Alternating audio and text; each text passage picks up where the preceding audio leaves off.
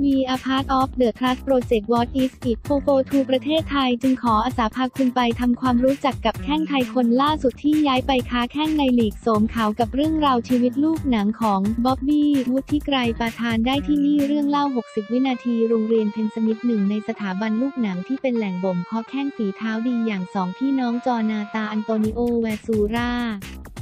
ชนาธิปสรงกระสินธ์ ธนสิทธิ์ศิริผลาคือจุดเริ่มต้นเส้นทางฟุตบอลของเด็กหนุ่มชาวฉะเชิงเทราผู้นี้ที่หลงใหลเสน่ห์ของลูกหนังมาจนตัดสินใจหอบสตั๊ดเข้ามาคัดตัวเป็นนักฟุตบอลของทีมหลังอยู่กับทีมไม่กี่เดือนเขาถูกโรงเรียนอัสสัมชัญธนบุรีคว้าตัวไป ศึกษาต่อในชัยนอมหนึ่งพร้อมคว้าแชมป์เกือบทุกรายการไล่ตั้งแต่ฟุตบอล 18 ปีกแชมป์กีฬา 7 สี ฟุตบอลทออ